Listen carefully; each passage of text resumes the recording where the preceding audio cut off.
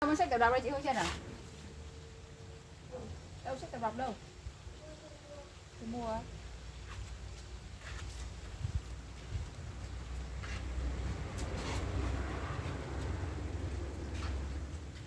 Vinh không còn à? Hay Vinh không có à?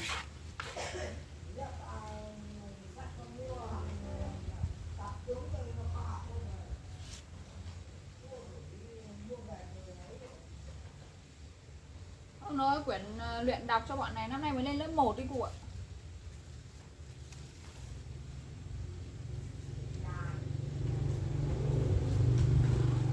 Trước này ờ, cái Quỳnh nhà cháu có, nhưng mà con nhà cậu nó mượn mất rồi.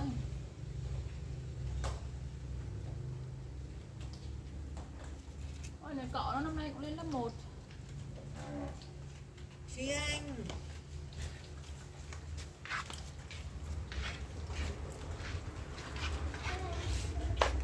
Đi ở đây làm gì?